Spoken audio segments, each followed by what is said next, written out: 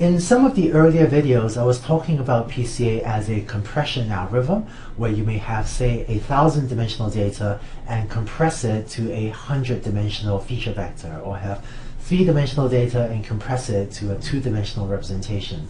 So if this is a compression algorithm, there should be a way to go back from this compressed representation back to an approximation of your original high dimensional data. So given zi, which may be 100 dimensional, how do you go back to your original representation xi, which was maybe a thousand dimensional?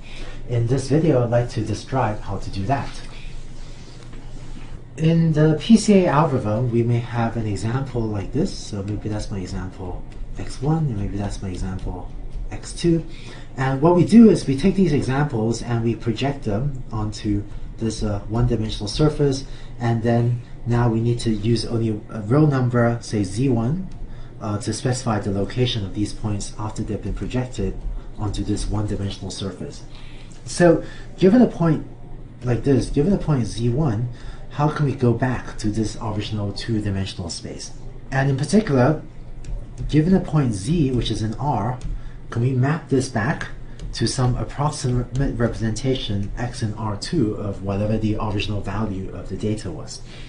Um, so whereas z equals u reduced transpose x, if you want to go in the opposite direction, the uh, equation for that is we're going to write x approx equals u reduce times z. And again, just to check the dimensions, here u reduce is going to be an n by k dimensional vector, z is going to be a k by 1 dimensional vector. So when you multiply these out, that's going to be n by 1. And so x approx is going to be an n-dimensional vector. And so the intent of PCA, that is if the square projection error is not too big, is that this x approx will be close to whatever was the original value of x that you had used to derive z in the first place. To show a picture of what this looks like, this is what it looks like. What you get back of this procedure are points that lie on the projection of that, uh, on, onto the green line.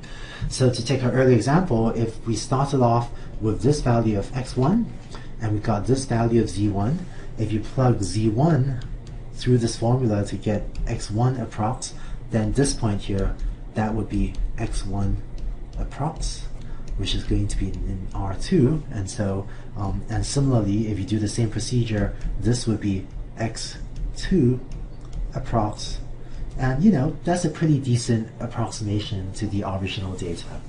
So that's how you go back from your low dimensional representation Z back to uh, an uncompressed representation of the data. We get back an approximation to your original data x. And uh, we also call this process reconstruction of the original data, where we think of trying to reconstruct the original value of x from the compressed representation.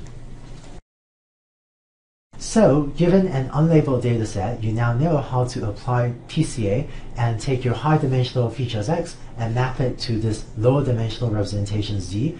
And from this video, hopefully you now also know how to take these lower representations Z and map it back up to an approximation of your original high dimensional data. Now that you know how to implement and apply PCA, what I'd like to do next is talk about some of the mechanics of how to actually use PCA well. And in particular, in the next video, I'd like to talk about how to choose K, which is uh, how to choose the dimension of this reduced representation vector Z.